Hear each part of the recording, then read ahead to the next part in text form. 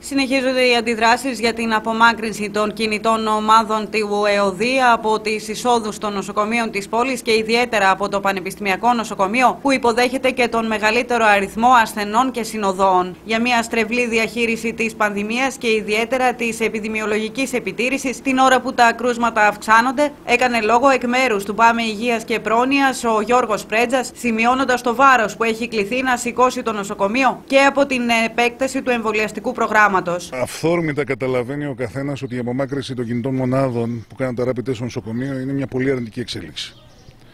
Αυτό που θέλουμε να επισημάνουμε είναι ότι από την ενημέρωση που έχουμε, ακόμα και μετά το Πάσχα δεν πρόκειται να επανέλθουν. Θα ανοίξει το λιμάνι της Ουγουμενίτσας, θα ανοίξει ο τουρισμός και ο σχεδιασμός είναι ακόμη να μην επιστρέψουν στα νοσοκομεία.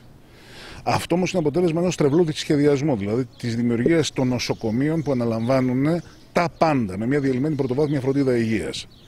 Από τη στιγμή όμως που κάναν τα νοσοκομεία μιας νόσου και βρήκαν έναν αποτελεσματικό τρόπο τουλάχιστον για αυτό το κομμάτι. Τον έλεγχο των συνοδών, τη μη ταλαιπωρία των ασθενών. Το να στο στερούν σε αυτή τη φάση που έχουμε κορύφωση των κρουσμάτων, πραγματικά είναι σαν να σου λένε η νοσοκομεία θα έχεις καθαρά, η κοινότητα θα έχεις καθαρή. Δεν γίνεται μετά από ένα χρόνο.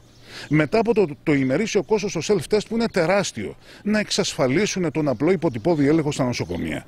Αυτό το πράγμα δηλαδή υπερβαίνει κάθε διαχειριστική απλή λογική και είναι αποτέλεσμα μιας πολιτικής απόφασης η οποία πραγματικά είναι εντελώς στρεβλή.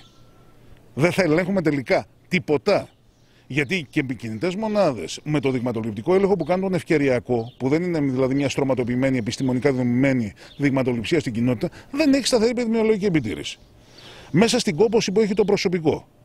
Το να κυνηγιόμαστε με τους συνοδούς, το να αντιμετωπίζουμε ανθρώπους ταλαιπωρημένους θα δυσκολέψει τη δουλειά μας όσο πολύ σε μια περίοδο που αυξάνουν πάρα πολύ οι εισαγωγές στα νοσοκομεία. Ο κόσμος είτε από βούληση είτε επειδή δεν μπορεί να περιμένει άλλο, έρχεται στο νοσοκομείο και έχουν αυξηθεί πολλοί εισαγωγές. Ο συγχωρητισμός αυξάνεται και ετοιμάζουν και δύο εμβολιαστικές γραμμές. Δεν μπορεί, θα σκάσουν τα νοσοκομεία.